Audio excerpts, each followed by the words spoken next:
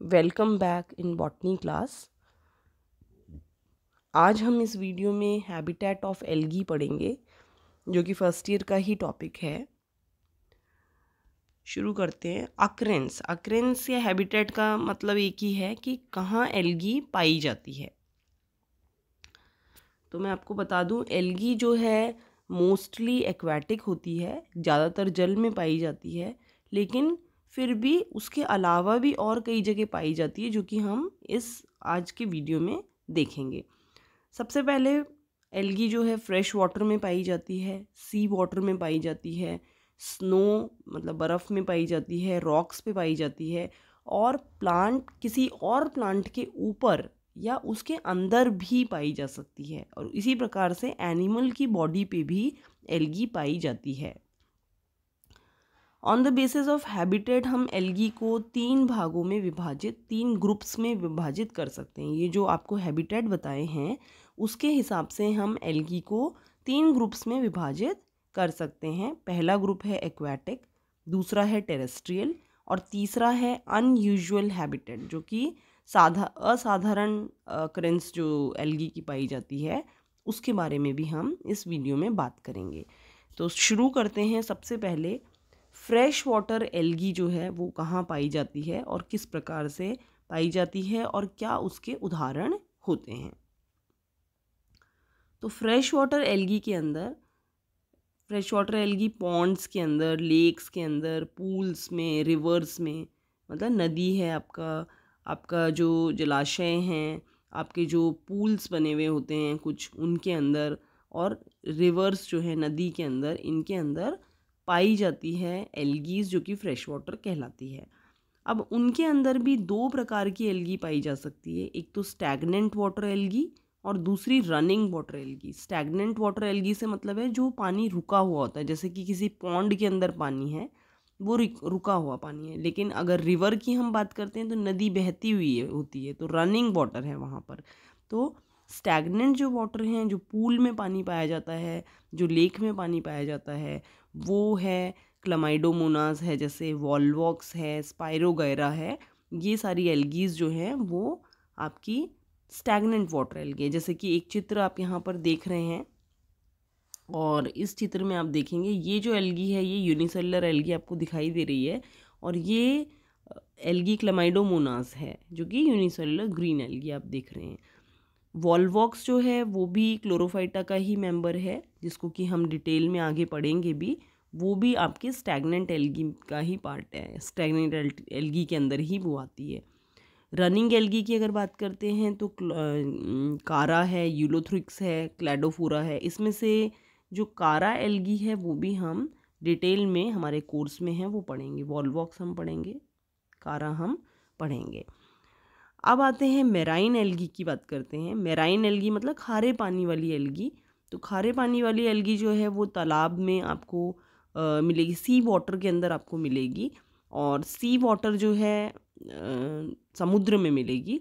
सी water जो है उसके अंदर आपको जो एलगीज़ मिलती हैं उसमें बेसिकली एक्टोकार्पस है सरगासम है फ्यूकस है और फ्यूओफाइसी के मेंबर्स हैं ये सारे। फिर पॉलीसाइफोनिया है, जो कि रोडोफाइसी का मेंबर है, ये एल्गीज आपको मेराइन वाटर के अंदर या समुद्र के पानी में मिलती हैं। इसमें भी हम एक्टोकार्पस हमारे कोर्स में है, फियोफाइसी का मेंबर, वो हम पढ़ेंगे। फिर आपका पॉलीसाइफोनिया हमारे कोर्स में है, वो भी हम पढ़ेंगे। तो इस प्रकार से ये डिफरेंट एल्गीज जो हैं, आपको अलग अलग जगह पे मिलती हैं और यही अक्रेंस है कि कहाँ कहाँ पर किस प्रकार की एलगी पाई जाती है। तो ये हमने एक्वेटिक एलगी की बात करी यहाँ पर। अब हम आते हैं टेरेस्ट्रियल एलगी पे कि टेरेस्ट्रियल एलगी जो है वो हमें कहाँ कहाँ मिलती है। तो टेरेस्ट्रियल से मतलब होता है जो कि पानी में नहीं है, पानी के बाहर है, ज़मीन पर है। तो उस प्रकार की एलगी जो है वह टेरेस्ट्रियल एलगी कहलाती है। तो ये टेरेस्ट्रियल एल्गी जो है रॉक्स पे मिल सकती है आपको। सॉइल में मिल सकती है। लॉग्स पे जो लकड़ी के टुकड़े हैं, उन पे मिल सकती है। या इवन प्लांट के आपके जो तने हैं, उनके ऊपर ट्रंक पे मिल सकती है। इनमें सेफोफाइट्स कहा जाता है, जो कि सॉइल पे मिलती हैं। सॉइल की सरफेस पे मिलती है। ऊपरी सतह पे अगर कोई एल्गी मिल रही है तो then it is known as edaphophyte उसमें एग्ज़ाम्पल है आपका वाउचेरिया बोट्राइकियम और फ्रिशेला जैसे कि आप चित्र में देख रहे हैं, ये जो नीचे चित्र है, ये वाउचेरिया का चित्र है। ये भी आपके कोर्स में डिटेल में हमें पढ़ना है और हम पढ़ेंगे इसको। तो इस प्रकार का चित्र है इसका और ये सॉइल के अंदर पाई जाती है। उसी प्रकार से क्रिप्टोफाइट्स क्रिप्टोफाइट्स वो एल्गी हैं जो सॉइल के अंदर पाई जाती हैं। जैसे कि नॉस्टॉक है एनाबिना है तो इसमें आप नॉस्टॉक पढ़ेंगे डिटेल में। ये ब्लू ग्रीन एलगी है और नॉस्टॉक का आप चित्र देख रहे हैं। ये जो बीडेड स्ट्रक्चर आपको दिखाई दे रहा है, मोती, जैसे माला होती है मोती में, मोती की माला होती है, उसी प्रकार से यहाँ पर ये इस प्रकार का नॉस्टॉक का स्ट्रक्चर आप देख सकते हैं। फिर आता है rocks and logs, found on the tree trunk and moist walls. Moist walls पे और ट्री ट्रंक पे आपको ये मिलती है। गीली जो दीवारें हैं उन पे या फिर आपको तने पे भी प्लांट के तने पे भी ये पाई जाती है। जैसे कि एग्ज़ाम्पल है इसमें प्रोटोकोकस एंड स्काइटोनीमा ये स्काइटोनीमा का उदाहरण है। स्काइटोनीमा में ये यहाँ पर एलगी जो है, ये स्काइटोनीमा है, यहाँ उदाहरण है रॉक्स और लॉग्स का। तो आप देख सकते हो इसका स्ट्रक्चर इस प्रकार का है। तो बेसिकली जलीय होती है एक्वाटिक होती है, लेकिन कुछ टेरेस्ट्रियल एलगीज भी होती हैं, वो मैंने आपको यहाँ पर बताई हैं। अब आते हैं अनयूजुअल हैबिटेट्स कि अनयूजुअल हैबिटेट के अंदर एल्गी जो है वह किस प्रकार से आपको दिखेगी? कौन सी एलगीज मिलती हैं और क्या क्या उनके नाम हो सकते हैं? तो और क्या अनयूजुअल हैबिटेट हो सकता है जहाँ पर वो पाई जाती हैं? तो पहला हैबिटेट है हेलोफाइटिक एल्गी हेलोफाइटिक एल्गी से मतलब है हेलोफाइट से ही मतलब होता है ऐसा प्लांट जो कि सॉल्ट जहाँ पर ज़्यादा हो, वहाँ मिलता हो। तो जो सॉल्ट लेक्स हैं, वहाँ पर भी एल्गी पाई जाती है, जैसे कि ड्यूनोलेला तो आपने राजस्थान में देखा होगा, सांभर लेक का नाम सुना होगा तो वहाँ पर ये ड्यूनोलेला एल्गी काफ़ी मात्रा में पाई जाती है, क्योंकि ये सॉल्ट लेक्स के, इसका हैबिटेट ही सॉल्ट लेक है। दूसरा आता है epiphytic algae found on larger algae epiphyte से मतलब होता है एपी से मतलब होता है ऊपर। फाइट से मतलब होता है प्लांट से। तो इसका मतलब ऐसी एलगी जो कि किसी और प्लांट के ऊपर पाई जाए, उसको हम कहते हैं एपीफिटिक एलगी।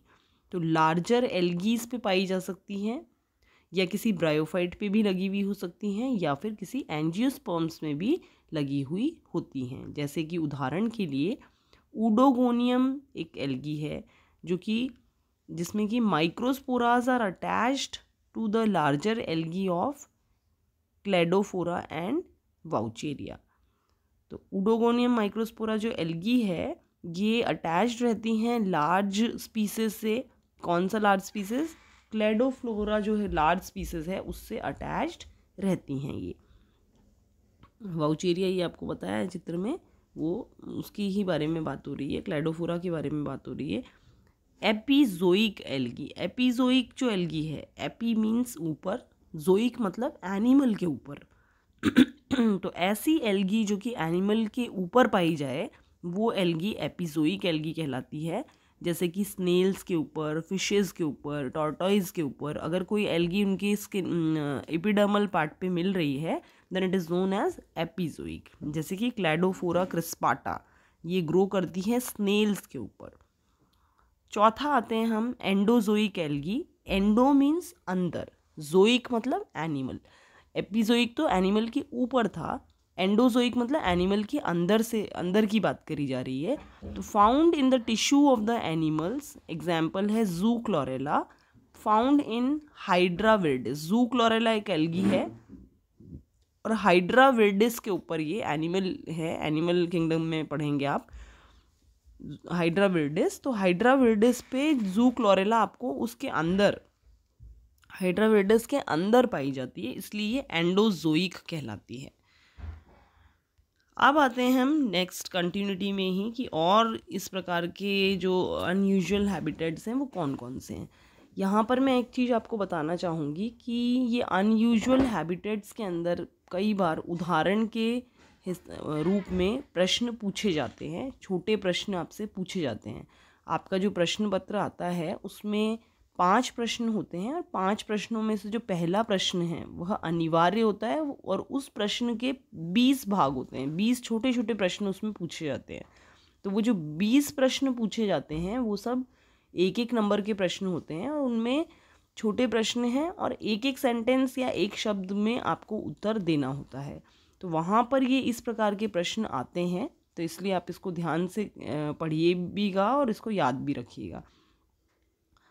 पांचवा जैसे है इसमें symbiotic algae association with fungi bryophyte and gymnosperms symbiotic algae से क्या तात्पर्य है? सिम्बायोटिक एल्गी से तात्पर्य यह है कि ऐसी एल्गी जो कि म्यूचुअल एसोसिएशन करती है दूसरे किसी प्लांट के साथ में और जिसमें दोनों ही प्लांट पार्ट जो है वो लाभान्वित होते हैं। मान लीजिए एलगी ने फंजाई के साथ में एसोसिएशन किया, जिसमें कि एलगी को भी लाभ है और फंजाई को भी लाभ है।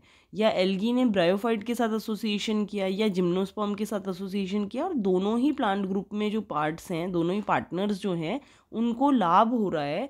तो इस प्रकार का जो एसोसिएशन है, वह सिम्बायोटिक एसोसिएशन कहलाता है। जैसे कि लाइकन जो कि आपके कोर्स में भी है, आप पढ़ेंगे डिटेल में भी लाइकन जो है क्या है? एसोसिएशन है, किसका? एलगी और फंजाई का, जिसमें एक पार्ट एलगी होगी और एक पार्ट लाइक एक पार्ट फंजाई होगा और दोनों मिला के एक प्लांट ग्रुप बना रहे हैं, जिसको हम लाइकन के नाम से जानते हैं। तो उसमें जो एल्गल कंपोनेंट होगा वो है, जैसे कि नॉस्टॉक हो सकता है माइक्रोसिस्टिस हो सकता है प्रोटोकोकस हो सकता है क्लोरेला हो सकता है। उसी प्रकार से फंगल कंपोनेंट है, जैसे कि कोरीला डिक्टोनिया ये है फंगल कंपोनेंट तो इस प्रकार का एसोसिएशन जो है वह लाइकन कहलाता है। दूसरा इसमें हमने बताया है आपको एल्गल एसोसिएशन विद ब्रायोफाइट कि कई ब्रायोफाइट भी ऐसे हो सकते हैं जिनके अंदर की ये ब्रायोफाइट जो है एक प्लांट ग्रुप है। आप पढ़ के आए होंगे इलेवन ट्वेल्थ के अंदर। हम यहाँ पर भी पढ़ेंगे। तो ये जो प्लांट ग्रुप है ब्रायोफाइट इसमें भी एल्गी का एसोसिएशन देखा गया है, जिसमें कि नॉस्टॉक और एनाबीना जैसी एल्गीज जो हैं वह एंथोसिरोस एक ब्रायोफाइट है, उसके थैलस में होती हैं। अब जब आप टी एस काट के देखते हैं ब्रायोफाइट का, आप सेक्शन कटिंग करते हैं तो आप पाते हैं कि उसमें कई कैविटीज़ हैं, उन कैविटीज़ के अंदर आपको नॉस्टॉक एनाबिना जैसी एल्गीज दिखती हैं।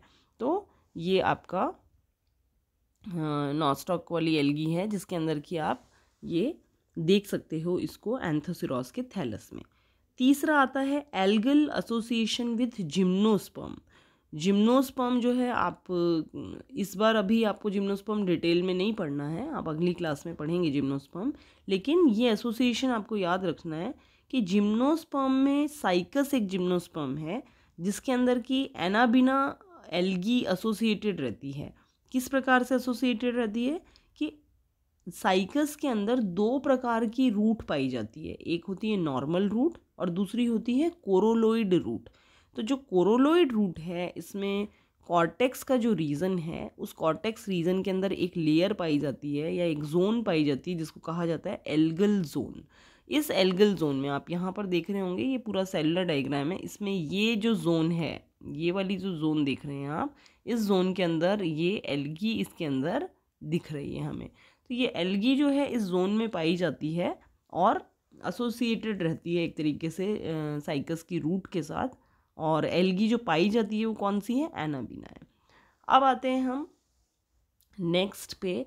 ये है क्रायोफाइटिक एल्गी क्रायोफाइटिक एल्गी से मतलब है ऐसी एल्गी जो कि स्नो में ग्रो करती हो। बर्फ़ के अंदर आपको अगर कोई एल्गी मिलती है तो then it is known as cryophytic algae उदाहरण के तौर पे अल्पाइन और आर्टिक माउंटेन्स जो होते हैं, वो पूरे के पूरे रेड हो जाते हैं due to the growth of Haematococcus nivalis. अब ये प्रश्न भी कई बार पूछा जाता है, जो ऊपर मैंने आपको पॉइंट होता है सिम्बायोटिक एल्गी, वो तीनों ही उसके पॉइंट लाइकन ब्रायोफाइट वाला और जिम्नोस्पॉम वाला इंपॉर्टेंट है, उसमें से प्रश्न आते हैं।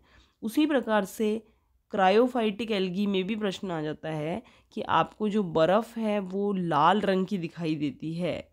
किसकी ग्रोथ के कारण आपको वो बर्फ़ का रंग लाल दिखाई देता है? तो ग्रोथ किसके कारण? एल्गी के कारण। उसका नाम बताइए। तो एल्गी का जो नाम है वो है हिमाटोकोकस नाइवेलिस, जो कि आपको ध्यान रखना है। नेक्स्ट हम चलते हैं इसके अंदर। लिथोफाइटिक एल्गी, लीथो से मतलब होता है रॉक्स से या पत्थर से। तो मॉइस्ट जो रॉक्स हैं, उस पर ग्रो करने वाली जो एल्गी हैं, उनको हम कहते हैं लीथोफाइटिक एल्गी।